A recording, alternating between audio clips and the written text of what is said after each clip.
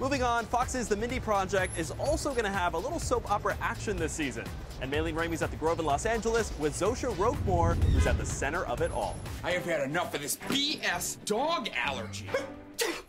Can't breathe. Why are you trying to kill me? Deborah! She was like this when I found her. You know, she got- We just kicked off season three. Where do we find your character, Tamara, who's a nurse and they call her the the office gossip? Yes, she's still gossiping.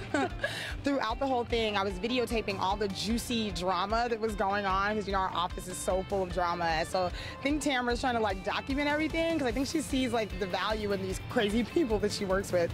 Just because you have your own backwards ass issues with women does not give you the right to burn down our paradise. Sorry. Now, in real life, Mindy, it seems like she's got her life together. She created the show, she stars in it, writes, directs. How inspiring is it to work with a woman like that? It's so inspiring. She's so awesome. It's the funniest show on TV to me. We have the best writer. It's just awesome to get to be around somebody like that and to call her a friend and my boss. We love supporting talented, funny women, and the show is really hilarious. When can people tune in? Tuesdays, 9:30 on Fox. Bloop.